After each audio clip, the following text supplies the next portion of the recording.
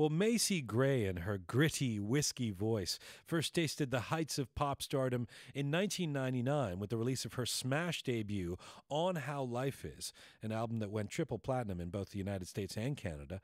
And though she's enjoyed a successful career since then, some disappointment over sales of her last record prompted her to do a bit of soul searching. The result is The Sellout, Macy Gray's fifth studio record, which has her taking a back to basics approach with the music she makes. And while it may have been a bit of soul searching that inspired the creation of The Sellout, the resulting music is remarkably uplifting. And I'm pleased to have Macy Gray with me live in Studio Q. Hello. Hello. What a pleasure it is to have you here. Oh, thank you. Welcome back to Canada. I know. You've been kind of hanging around for the last few days, right? Yeah. Yeah. Did you enjoy the? Did you get part? Take part in the Pride festivities yesterday at all? Yesterday, no, I was I was with my mom all day. My mom came out, so Your mom came up here. yeah, she drove up from Ohio. That's pretty sweet. I know. Not so bad. Well, Yeah. good. Well, nice to nice to have you and your mom here. You Should have brought her today. well, we went to the races though.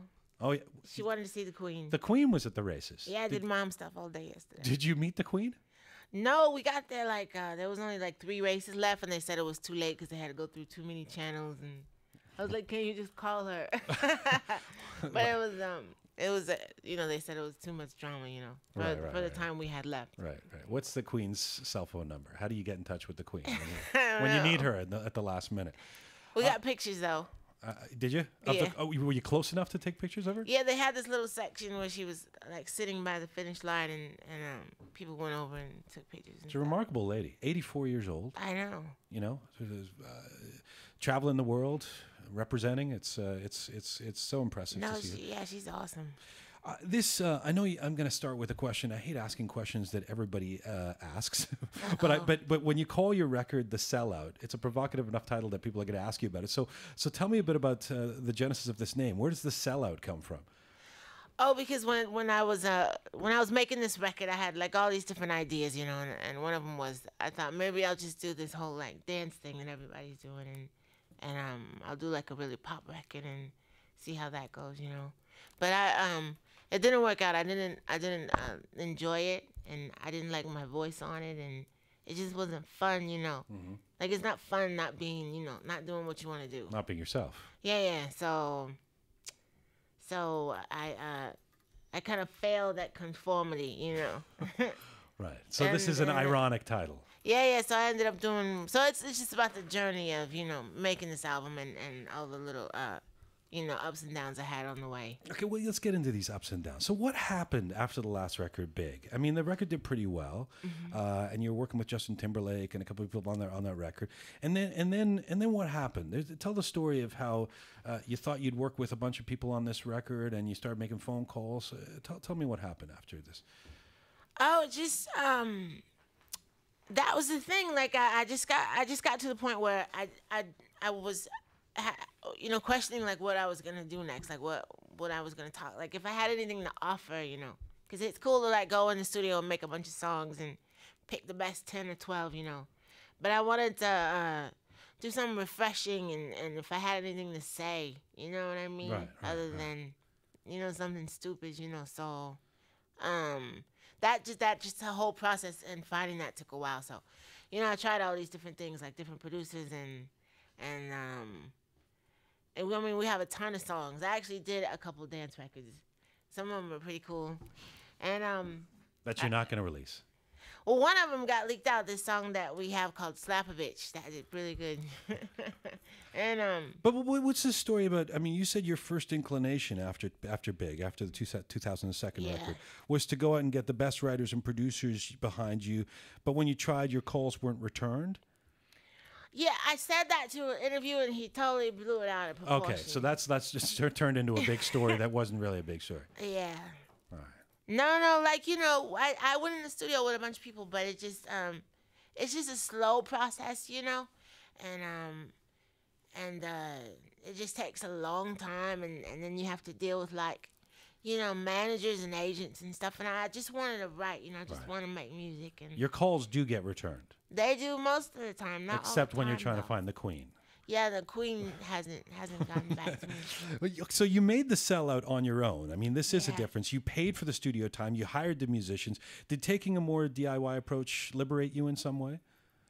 Yeah, it was definitely. You know what happened was I I, I was reminded of what what you know making records is all about, and and uh, I I left my label, so I was totally on my own, and um so I didn't have anyone to like, you know, answer to, or I didn't have anybody coming down the studio to check on me Mm-hmm. and make sure we were working, or I didn't have a meeting on Friday to play it for everyone, you know. so it was right. just making it for you know uh, where you know, where it just had to be something that I that I really loved. You know what I mean? And so, so then when that happens, it's pure. You know, it's honest. You know what I mean? It's not And- there's so much opinion on top of it. Macy, you talk about this record being back to being completely you, yourself. hmm What, what does that mean in real terms? What does that actually mean? Being myself, Yeah, as opposed to your other records. confused. confused about You're- who I am. You're back to being confused, which is more you. Yeah, that's it. Right, right. really, though, what do you mean? That's what you mean. No, I'm just kidding. I don't know. I mean, it's just a bunch of stuff, you know, things about love and, and how I really felt about my career, you know, and and uh, and you know what I was gonna do in life, and you know all the things everybody thinks about, you know, on a regular basis. How did you? How do you feel like you couldn't express those things on previous records? Why? Why does this feel like you're more you now? Oh, because just when you when you're getting you know on a label, there's a lot of opinion. There's a lot of like you know, no, you should do this, or no, you should try this, or you should work with this person, or or that's too. You know, nobody does this anymore. You know, you hear that a lot. So um, so you know, when you're on your own, you don't you don't have you don't have you know some some person telling you those things. So you Right. you do what you feel. You know, you do you- what's right for you. Do you remember the moment where you, um, instead of chasing the pop hits or like, let's find a new sound that's going to be the sound that's going to work in 2010, where you said, you know what, forget this. I'm going to do this my way, uh, DIY. Do you remember that moment? Yeah, I was listening to Frank Sinatra and he goes, My way. And I just knew it right then and there. I'm just kidding. so, um, yeah, I just, I don't remember the moment, but, um, but I, I, I just know it, it just really came down to the, that that's what I do best. Like the music that I make, like, like that comes natural for me. Like it flows. Like I could do it in my sleep. You know what I mean? And Gotcha. things should be easy, you know. You're working and life doesn't have to be so difficult. So if it it's, if it, it becomes harder, like this, you know, excruciating thing, then then it's probably not right, you know. Let me, let me ask you about being completely you in the, in in the context of this remarkable and distinctive voice you have. People have been talking for a decade about how much they loved your voice. It's funny to hear you say, I mean, at least originally, that you hated your, your voice, right? Mm-hmm. Do you? How do you feel about your voice now? Um, I, I'm I'm really used to it now, you know. And I think I think there's some weird thing where it sounds different to me than it does everybody else. how does it sound to you? because it, I sound totally normal to me. But then you know when uh, people imitate me, they have this, Right. you know, this imitation of me, and I would be like, I don't even talk like that, you know. And they say, Yes, you do. Right, right. Sort of a raspy kind of thing or something. I don't know. It's like right now, I sound totally normal. Sound normal to you. Yeah, to me. Yeah, yeah. But why? Why did you dislike it in the first place? Well, just because when I was a kid, you know, everyone would make fun of my voice. You know, when you're a kid, that's painful. But when you grow up, you know, you just give them the finger. You know what I mean? Well, but yeah, in their face. I mean, you've you've taken that voice and turned it into a massive career, right? Yeah. Not so bad. Uh, uh, tell me a bit about making this record. I'm looking at the liner notes. How does this work? I mean, I get that you did this yourself. At the same time, there's credit. There's there's 21 writers on this record, 14 producers, including yourself, and you're one of the writers uh, on every song as well. How do you maintain a sense of cohesion, Macy, when you've got so many cooks in the kitchen? Oh well, um, I- have a little writing crew that, that I have like six people that I, I write with all the time, and um, and uh, producer wise, um, I, I went into the studio with Jared and Whitey first. We started the record, and then uh, and then I met Hit Boy, and there's Kaz James, and there's Rodney Jerkins, and blah blah blah. So it was just like a, a thing like people that wanted to come down and when I called them and, and you know people that I was comfortable with and Do you worry about how this is all going to sound like one record if you use a bunch of different people? No because because I was there kind of like directing it like telling them like You know, and you have is and you have the distinctive voice. Yeah, I have. That sounds normal to you. it sounds really normal. Uh, the record came out uh, of what some dark times, you say, but there's a lot of optimism on this record, especially on the, the first single, "Beauty in the World," which has a really fun video too. Uh, uh, tell me about uh, this song, "Beauty in the World." Oh, it's it's just a song about uh, how how um you know you you hear every day about the things that are, are crazy in the world, and it's just about keeping your head up and and uh you know finding the the good things like the light, you know, and the fun that you know, and focusing on good stuff, you know, because we get bombarded with what's wrong and what we have to go do today and what needs to be fixed and what needs to be said. That is such an uplifting song. How do you how do you find the beauty in in in the in the dark days? How do you f- turn it around? Um, well, I usually just sleep through it and watch a couple reality shows.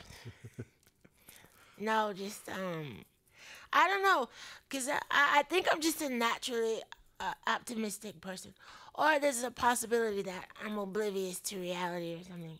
But I think I just naturally um, uh, see like you know the upside. Most of the times, I definitely have a pessimistic sarcasm element to me, but I, but I, most of the time, I, you know, I'm, I'm looking up. I think. There's a storyline about you. I never know, you know, how much of this is actually coming from someone like you, or, or how much of it is the story that's been written about you or for you. And so I'm going to ask you, where you had this massive hit on your first record.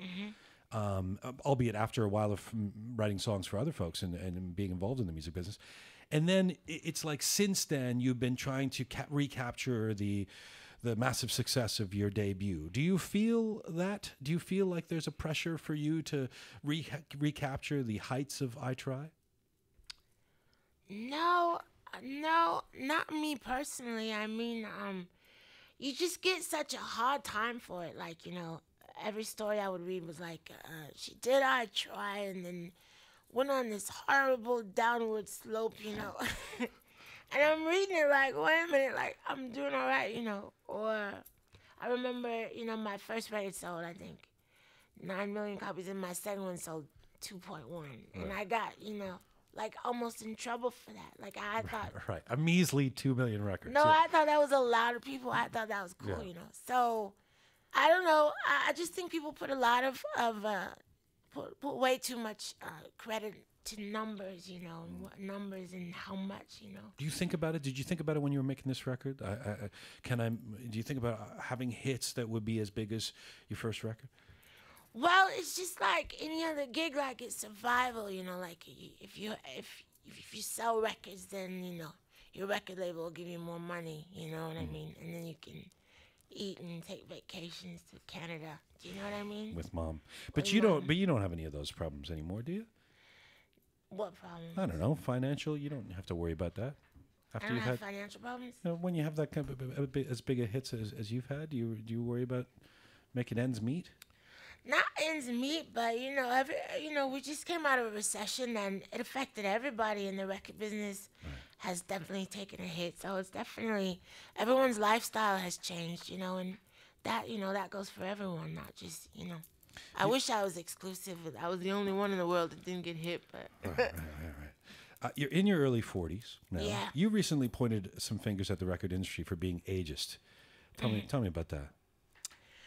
Oh, I just think that that um there's there's this uh this myth like that after thirty that you you know you become a little useless because there's no audience for you, you know, or right. that um people over thirty don't buy music, you know, and um and it's funny because as soon as as the record industry sort of really started focusing on teenagers, that's that was around the same time that sales started going way down, you know. So um, I just talked about how, you know, that that people over 30, 35, you know, that they they need to be uh, lyrically satisfied too. You know, that there need to be songs that talk about how they their day went and what they want out of life and and uh, and how they feel and what they do at night. You know what I mean? And um, and because the record industry kind of uh, eliminates, you know, singers that get older, there's there's no one that services that culture, you know. So, um, or that age group. So I just I wrote this article for the Huffington Post about it, and and they published it. It was pretty cool. Do you feel old? Do I feel old? No, not at all. You don't seem old. No, I don't, it's not. I don't. I don't. Feel, I'm actually really enjoying, you know, not being as confused as I used to be, and and uh, you know, just being like a little more settled in what I want and what I need instead of like, you know, when you're younger, you don't, you know, you think you know everything, but you know, you don't know as much as you do when you get older. So I'm actually really, really having having a ball. Macy Gray, I'm really enjoying this this new record. Um, Thank you. And, and I, I really uh, thank you for coming in and, and talking about it. This uh, I want to go out on a song called "Kissed It." What do you want to tell us about this song? Um, is about this song about how um, you know, some people stay in relationships because the oral sex is so great.